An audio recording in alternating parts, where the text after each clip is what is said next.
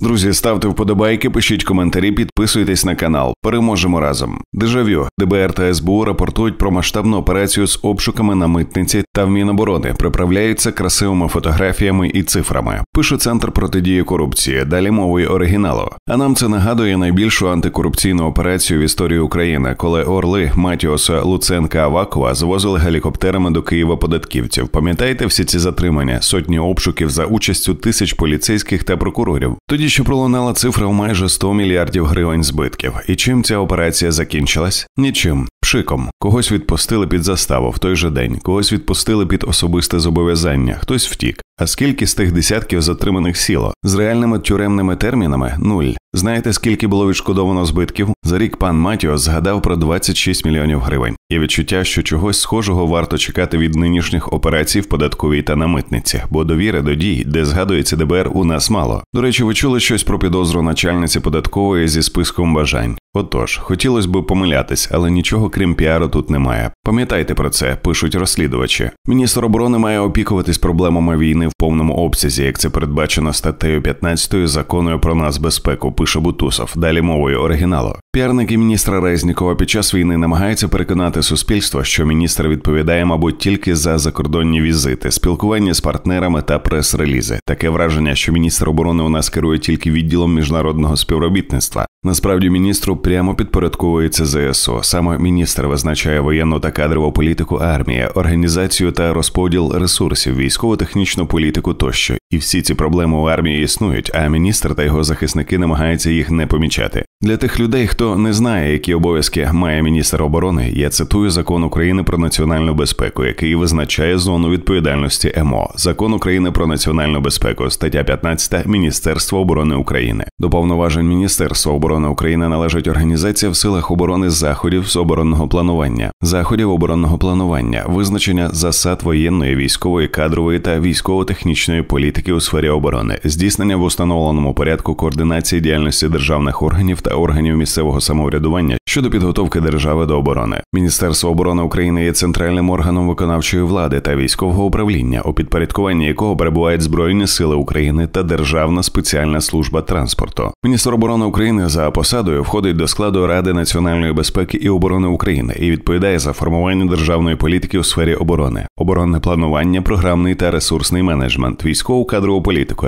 ефективне та належне використання оборонних ресурсів, всебічне забезпечення життєдіяльності, функціонування, розвиток та застосування збройних сил України. Міністр оборони України здійснює керівництво Міністерством оборони України, військово-політичне і адміністративне керівництво збройними силами України безпосередньо та через першого заступника міністра оборони України, заступників міністра оборони України, також через головнокомандувача збройних сил України. Тому, коли ви чуєте, що міністр армією не керує, це все генштаб, спокійно можете викривати невігласів цитатою закону про нацбезпеку. Міністр формує політику держави і відповідає за армію разом з військовим командуванням. Міністр має відповідати за ситуацію в армії, в окопах на передовій, в тому числі за кадрову політику за озброєння. Будь-який дипломат замість Резнікова може так само вести міжнародні перемовини. Країни НАТО будуть вести перемовини з тим, кого Україна вповноважила. А міністр має відповідати за усі проблеми війни. До зустрічі, друзі. Ставте вподобайки, пишіть коментарі, підписуйтесь на канал. Переможемо разом.